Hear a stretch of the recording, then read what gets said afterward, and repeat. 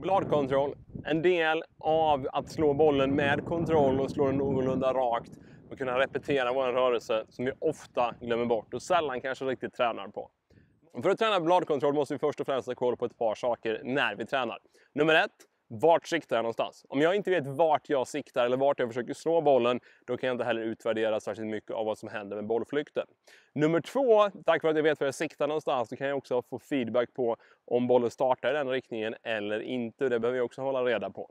Har jag koll på de två delarna, ja men då kan vi naturligtvis börja titta på, okej, okay, hur gör jag? Vad gör bollen? Och på så vis, vad kan hända och ske? Min första drill är ganska enkel. Vi slår några bollar där vi helt enkelt ser, okej, okay, vad är min vanliga bollflykt? Är van vid att få en boll som kanar till vänster som för mig, då skulle min nästa drill vara, eller min första drill vara att helt enkelt lära mig, eller lära mig, att helt enkelt försöka bara göra motsatsen. Så mitt mål nu, istället för att få bollen att gå med sin lilla drå som jag är van vid, kommer jag vilja att bollen nu istället kanar lite till höger varje slag. Så härifrån öppnar vi bladet i slaget och ser till att bollen skruvar till höger. Drill nummer två, då tar jag hjälp av en siktpinne och skulle jag stå på ranchen istället kunnat ta en ranchhink men ungefär fem meter framför mig.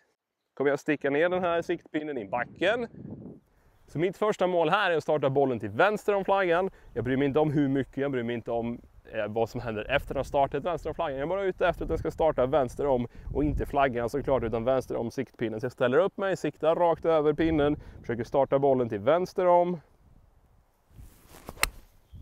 Steg nummer två är att jag startar en boll på höger sida, kommer tillbaka till vänster och så vidare. Det kommer utmana min bladkontroll men också mitt svingspår som sagt. Två väldigt viktiga delar. Drill nummer tre, jag kan faktiskt fortsätta stå med den här siktpinnen, den är alldeles underbar på att ge mig den här feedbacken jag vill ha. Men drill nummer tre, då ska jag försöka få bollen att starta på ena sidan och skruva till andra sidan. Härifrån vill jag försöka göra allt jag kan för bollen ska starta på vänster sida, skruva till höger med första bollen så från en neutral uppställning, starta vänster, skruva höger. Bra slag Max. Och nivå nummer två, eller nästa slag helt enkelt, starta höger, skruva vänster. Kom inte riktigt tillbaka. Men båda sätten kräver för mig att jag kontrollerar bladpositionen och lite undermedvetet också naturligtvis svingspåret som jag använder mig utav. Och återigen, uppgiften är just den här externa, det är pinnen, det är hur mycket på sidan jag kan vara, att slå den på sidan och få den att komma tillbaka. Det är mitt mål med de här övningarna. Det är inte att du ska fundera hela dagen på hur exakt du gör, utan vi börjar med att låsa upp att du faktiskt gör det. Som sagt, anpassa kraven på dig själv efter vilken nivå av golfare du är. Men att skapa den här kontrollen med dina slag kan göra extremt mycket.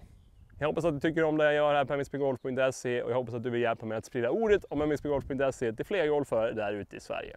För att göra det får du jättegärna prenumerera på Youtube-kanalen och gilla videon. Båda sakerna gör du här under, tar bara några sekunder men hjälper mig extremt mycket.